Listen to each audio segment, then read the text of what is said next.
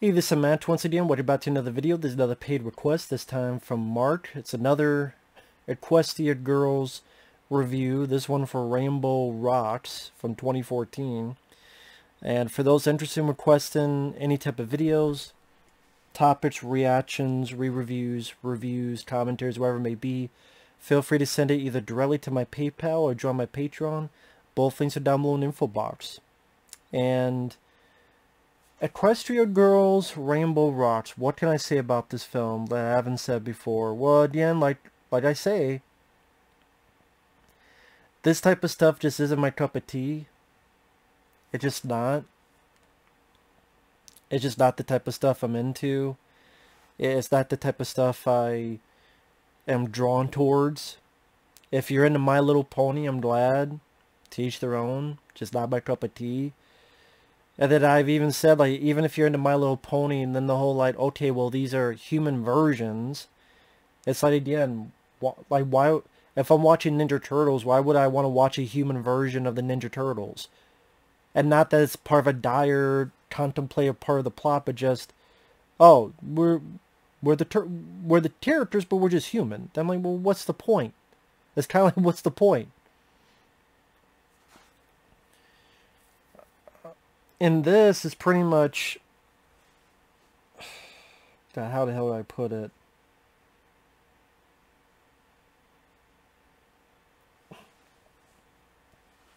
I don't I mean not much seems to happen in this film it seemed. It just these three girls who are, were banished to the human world. That's what happened. They were banished to the human world. They're going to use magic to make everyone we want to make magic to have everyone adore us, everyone love us. They have these jewels around their necks. They like to sing. They're sirens. They sing songs for people to love them and adore them, and they feed off of that.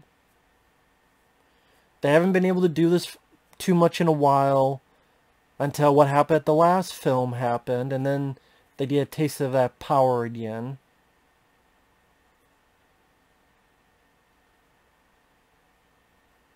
The school is still mad at Shimmer, which makes sense because I'm like, no shit.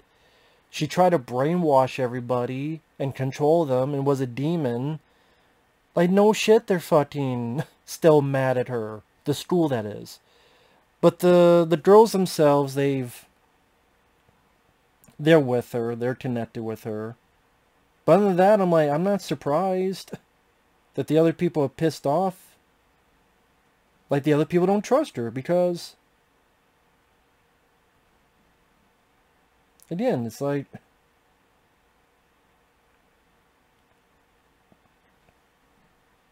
I don't know how to describe it. I'm still trying. I'm trying to remember what happened in this movie. Because it's just... The three seen us on at school. People are changing. The other friends, including Shimmer, notice this. They're going to do a battle of the bands. They get Twilight to come back from Pony World to this world. And then they're kind of just fumbling around going, okay, Twilight's going to create a spell, and the others are going to try to play as well as they can with this against this band. And Twilight's like, all I've done since I come here is let you down. I'm like, yes, it's true, because you fucked up. And they have a band battle. They're losing. Shimmer joins in. They fight against the sirens. They break the crystals, the rubies around their necks. And they, they win. Because the crystals are broken, the three actually seem piss poorly. They break the siren spell and they're fine. And like I can't remember. That's the thing. Like this type of movie doesn't have much, for me, like memorable dialogue, mem- just memorable anything. Just memorable anything. They're just again not much for me to talk about. That's why it's like hard to do this review because like everything I could say about the previous film I could put into this, other than I would say at least this is a, even shorter and this doesn't go through the whole reintroducing characters thing, so it maybe moves at a better pace for people compared to the previous one. The songs could be catchy for fans. I didn't kind of like the songs for the Ninja Turtles. Ninja Turtles coming out of their shells was catchy for me. So I can understand maybe that appeal. The animation is still that kind of direct-to-video cheapness. And I'm kind of sitting there and I'm going, I don't know what to talk about. Like, it's five minutes. I've already... What am I going to say about this? There's, there's nothing in it that makes me mad and angry. It's just... It's like having a piece of food or a piece of sugar or a piece of candy that just... Is not your cup of tea. And then you're sitting there going, well, what the hell else can I say? I don't like it. Didn't taste good to me. Okay, what else? I, like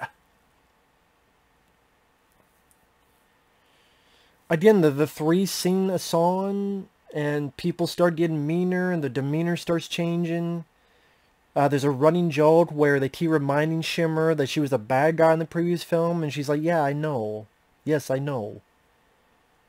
And they're doing that because she's ostracized. Like she's with the group, but then she's not part of the band until at the end they're like, "We need you, Shimmer," and then she kind of redemptive arc scenes and able to defeat the bad guys through friendship and magic. There's a running joke of the the ex-boyfriend of Shimmer keeps bumping into Twilight and they have a little bit of a crush on each other which that was in the previous film, and that's carried a little bit more into this. Well, not too much more, honestly.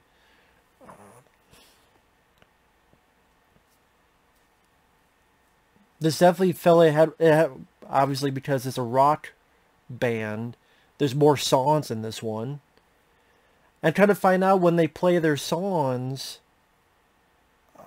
when they play their songs, they can actually create little magical maybe wings or something else, some glow when they're playing music. Like each time they play in their band, they get this magical glow about them. But only when they play the music. At least in this one. And the next one, it comes out in different pieces. But, I mean, the voices are the same. To me, they're just I didn't not my cup of tea that you chipper. Hi, how you doing? Oh, how you doing? Like I said, just you're you're watching something. I would say technically made for seven to ten year old. I would think. Which is funny because the girl, the teenager skirts are really fucking high. And like, you mean they're really fucking short to the point that you gotta shave when you go outside, and I don't mean your legs. You gotta shave before you go outside, and I don't mean your legs. That's how short they are. And it's just like, how old are these kids supposed to be? It's a bit weird to me. A bit strange. You know, it's a bit strange. I, I don't know if... I don't know. I don't know. I don't know what to say. I really don't know what else to say. So I'm just going to end it. I apologize to the Marc, but I don't know what else to say about this movie. If you're for this, you're for it. If you're not, you're not. Is that much of a review? Well, for me, it's, it's like an hour and, what, hour and five minutes, give or take? Not much to say about it, so with that said, thanks for watching. Uh, take care, and we'll see you guys later. Bye-bye.